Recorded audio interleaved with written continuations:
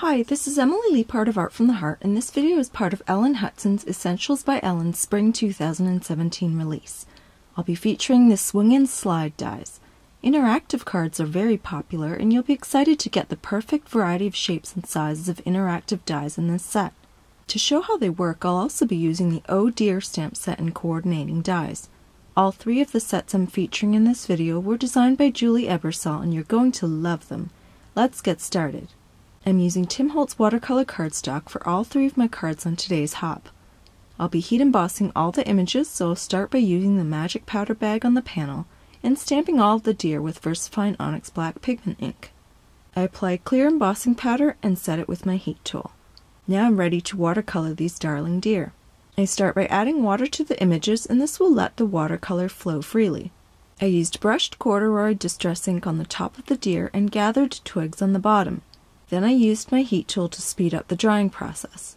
As I mentioned in previous videos, I like to cut apart my images if I'm die cutting a bunch at once because I find that the machine sometimes shifts dies against the next and then they're off center even if they're taped down.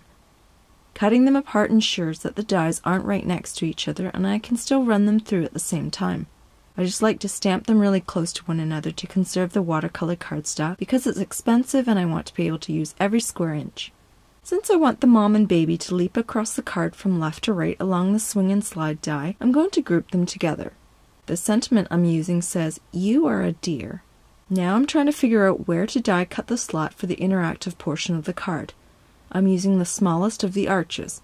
If I made a much longer card, I could have incorporated two arches and had the mom and baby leaping separately. It would be fun to try that version. I also wanted to make sure they were in the right position relative to the sentiment, which is why it's there to help me with spacing. Now I'm going to stamp the sentiment and I'll be heat embossing it just like the deer. Next, I'm going to create the setting around the deer. I'll be using the triangle confetti as the ground. I'll also use the sprigs as berry bushes. I'm going to flip the panel upside down in the MISTI to do this since my stamps will be off the edge and I need that extra bit of space to maneuver them around the bottom edge and sides of the card. I'll start with the confetti at the center and move towards the outer edges. First I stamp it with peeled paint distress ink and then use shabby shutters to give it depth.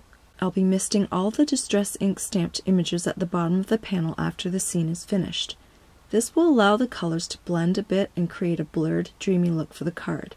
When the greenery is finished, it's time to move on to the berry bushes. I'm going to use three different distress inks for this. I start with Abandoned Coral, then use Festive Berries and Worn Lipstick. The three pinks on the left side of the card are stamped in reverse or mirror image order of the colors on the right.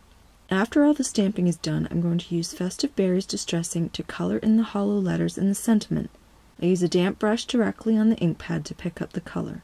Now I'm going to use a mister to spray water on the stamped distress inks. This will cause the colors to fade and spread into each other. Again, I use my heat tool to speed up the drying process.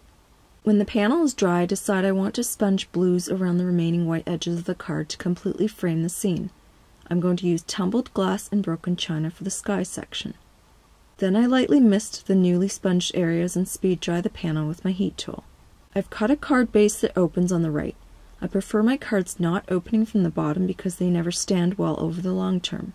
Before assembling the card, I'm going to adhere the baby to the mom with glue dots. To help me position the mom and baby, I add foam tape to the dad and pop him up on the panel. We no longer use pennies in Canada, so it was hard for me to find one. I certainly didn't want to use a nickel for this, but you can use slider elements which are made for this purpose. Then I attach a spin and slide disc to the penny with a glue dot and I'll link to both of these products down below, as well as on my blog. Both are sold to Ellen Hutson for your convenience. I attach another glue dot on the other side of the disc and adhere the mom and baby deer to it. Now you can see how they make the leap from the left side of the card to the dad. Now I need to pop up this panel, leaving enough height for the penny to move. I'm going to stack two layers of fun foam instead of using foam tape. After I adhere the two layers of foam tape together and before I adhere them to the front panel, I'm going to mark the opening of the swing and slide die with a pencil.